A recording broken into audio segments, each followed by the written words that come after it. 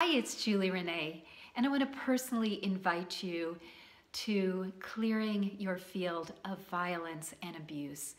And I'll tell you what, I created this program because I've seen a lot of my one-to-one -one clients with this problem in their field and in their cellular body.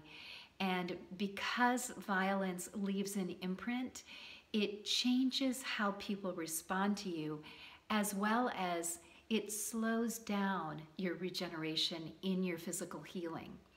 So if you've suffered at the hands of others, if you've experienced trauma and abuse, we no longer are putting any blame or fault on anyone. What we're doing is just cleaning house and clearing it out of your field and body so that you can live as a radiant being of light. I believe in your capacity to heal, and I put this program together especially for you so I hope you'll join me, sign up below, and let's get you started on an easier path to full self-expression.